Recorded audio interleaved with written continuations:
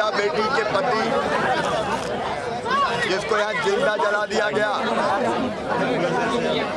उसको न्याय देने क्यों नहीं आ रहे? घटना होने से रोक सकते थे रोक समय पर इलाज दे के बचा सकते थे बचाया नहीं।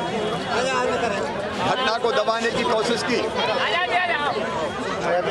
वहाँ बैठे बैठे कुछ भी बयान दे रहे हैं।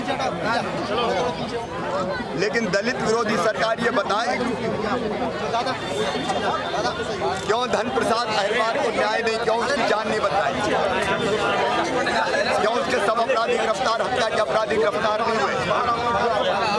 अन्याय की अति और जुल्म की पराकाष्ठा है, उसके खिलाफ हमने जंग छेड़ी।